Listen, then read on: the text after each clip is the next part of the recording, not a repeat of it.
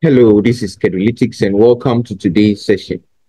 In today's brief video, we are looking at how we can be able to run ordinal logistic regression analysis when we realize our proportional odds assumption is violated. So in our previous video, we look at how we can use the Stata platform to run the ordinal logistic regression, given that our proportional odds assumption is not violated.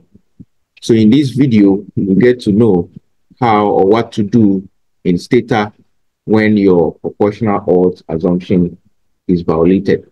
So first of all, let's check our proportional odds assumption with this model we are trying to build.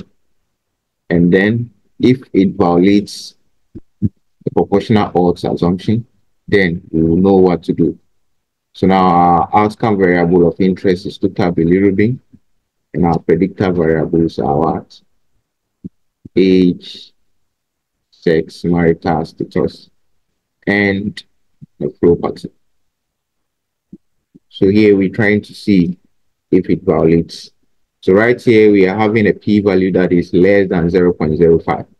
And since it is less than 0.05, it means we have enough evidence to reject the null hypothesis that it does not violate the proportional odds assumption. So it means that this violates the proportional odds assumption. So once uh, the proportional odds assumption is violated, then it means that we can use the, the normal O-logit model, but then we have to fall on a particular kind of model, which we call the Go Logics 2.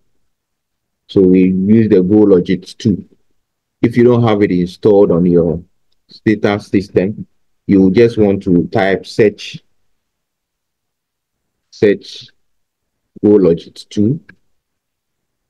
And once you do that search, you come and then install it. So said you have a number of the packages here. So you can click on any of them and install.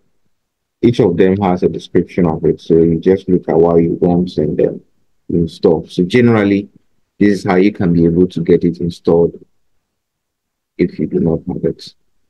Now, now let's see how we run that. So G,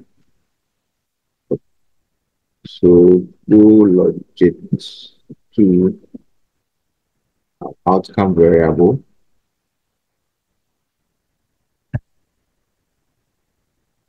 CPU, and then uh, frequency.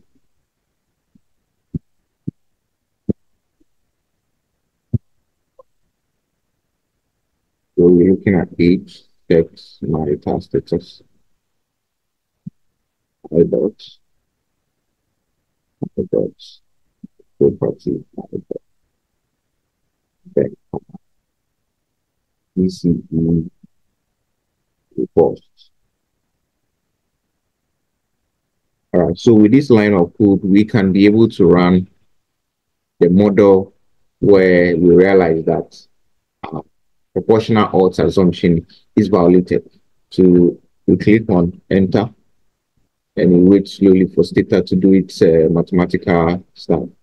And here we have our output. So this is the output that is generated by our code. So go logit to outcome variable and our predictor variables, and then our BC boss.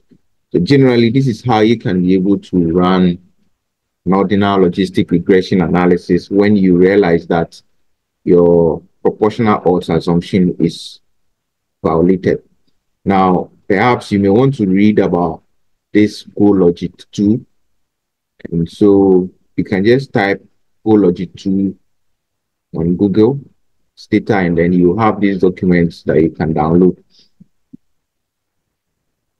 So it says GoLogit 2, a program for generalized logistic regression, partial proportional odds model for ordinal dependent variables.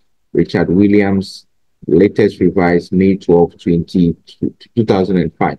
Now, this is the part we are interested in. So you see that a major strength of GoLogit 2 is that it can also estimate two special cases of the generalized model, the proportional odds model, and the partial proportional odds model. Hence, GoLogit 2 can estimate models that are less restrictive than the proportional odds slash parallel lines model estimated by GoLogit, whose assumptions are often violated. So this highlights the point that we have to fall on the GoLogit 2 when we realize that our assumption or proportional odds assumption is violated. So generally, you can take your time and read through the document, and then you can make informed decisions or how you can be able to do your interpretations of the results. Until we meet again on our next one, this is Kedulytics, and it's a bye.